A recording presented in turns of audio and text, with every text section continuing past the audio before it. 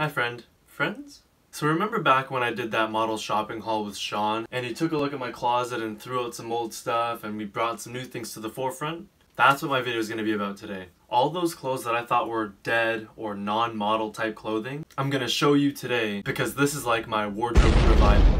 So first up is this tie-dye shirt right here. It's got kind of a watery blue up here and then it's got red stripes down here. This is actually one of my favorite shirts. It kind of looks like the American flag. But when I was looking at my closet, I thought this is kind of like tacky, it looks kind of old, it's a little oversized. So I thought, okay, I probably shouldn't wear this, it doesn't look that fashionable. But Sean was saying, no, it's kind of the opposite. You should be wearing this because it's so almost like retro. And obviously it stands out a lot. So I should definitely use this piece in conjunction with other layers or maybe use this without any layers and make this the center of attention and create looks from that based off of this loud piece.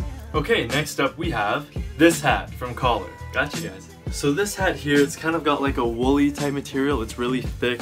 It's actually really stretchy. And the front here says Kollar. I don't know if you can see that. It's pretty subtle.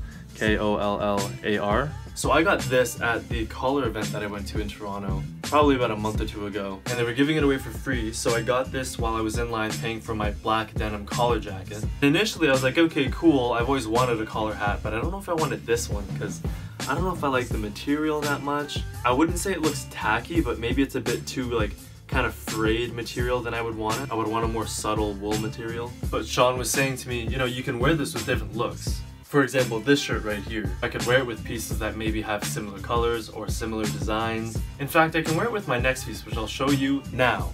So this is a wool kind of poncho type sweater. It's pretty baggy. It's got a pocket in the front, these two straps which do absolutely nothing. And it's got a hood, but I don't really wear the hood because it's like pretty pointy up top.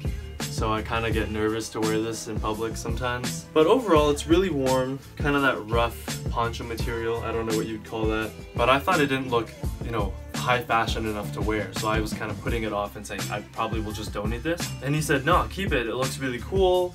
He thinks I could wear it, you know, with layers or different things like that. I can fix the hood so it's not so pointy. And I think he really liked the color scheme. I think that's why he wanted me to keep it so bad. So I'll probably be wearing this with a jacket. Probably not on its own. I don't know if I like it enough to be just by itself. But catch me in the future wearing this. Next up we have my Reese's sweater. So I got this on a family trip to New York. We went to the Hershey factory and this was one of the sweaters. I thought it was really cool so I got it. That was at least like, I want to say five years ago. And it's really cool. I mean, the color scheme, I don't mind. I think neon's coming back into uh, fashion, so this would be a good pick for that. Very simple, just like super plain hoodie, nothing crazy. But to me, it looked really kiddie. It looked kind of, not tacky, but just like, almost like a graphic tee, but with chocolate sweaters, you know? Like it was kind of phased out. And Sean said to me, hey Marc, you should keep that because first of all, neon's coming back in, so that's good. And it's also kind of just one of those pieces that's really extra, but you can turn it into something good for yourself that will look fashionable. This one right here, this is my Battle at the Capitol National Champions jacket. So I was on the cheer team at Western and we went to Battle at the Capitol, which is in Maryland in the States. And we had a competition against Virginia Tech and we won. So we won these jackets and on the back it says Battle at the Capitol. And this is pretty retro looking. It's very nice fit to be honest. Nice pockets on the inside here. Just like a regular kind of I don't know, varsity jacket. The colors are really cool. That's probably one of the best parts. Just all black, little bits of blue and white with uh, purple accents on the buttons and stuff. Pretty fun, pretty retro. I like it. Now, I wasn't gonna throw this out, but I didn't think that it was very modelly. Then Sean said, yes it is, bring it out, wear it. It's very fashionable, very out there, very cool. Yeah. This is my last item here.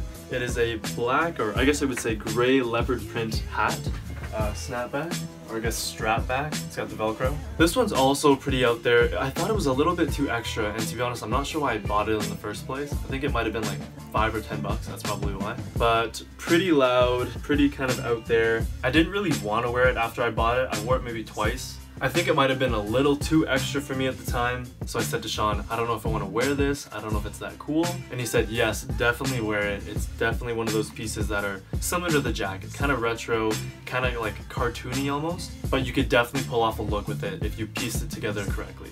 And that's it. So I'm definitely excited to wear these clothes again, feeling good that I don't have like zero fashion sense. I'm definitely going to be paying attention to my closet more and seeing which pieces I can, you know, create different looks with or do something different that no one else has done before because I definitely overlook a lot of my pieces and I want to be able to use everything in my closet to create the most amount of looks possible. Hopefully though that they all look good. So maybe you guys should check out your closet just in case you have that one piece that you may have overlooked and bring it back.